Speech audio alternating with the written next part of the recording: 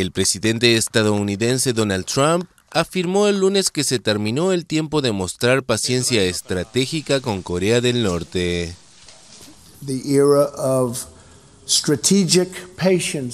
La era de la paciencia estratégica ha terminado.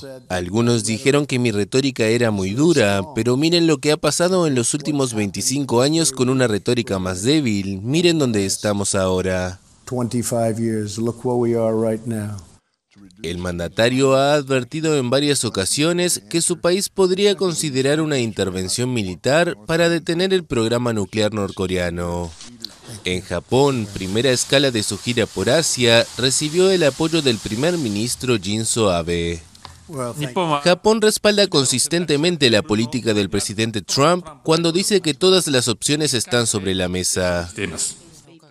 Japón vio en los últimos meses cómo el régimen de Pyongyang lanzaba dos misiles que sobrevolaron su territorio.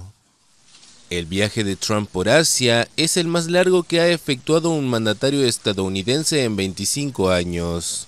Después de Japón, el mandatario se dirigirá a Corea del Sur, China, Vietnam y Filipinas.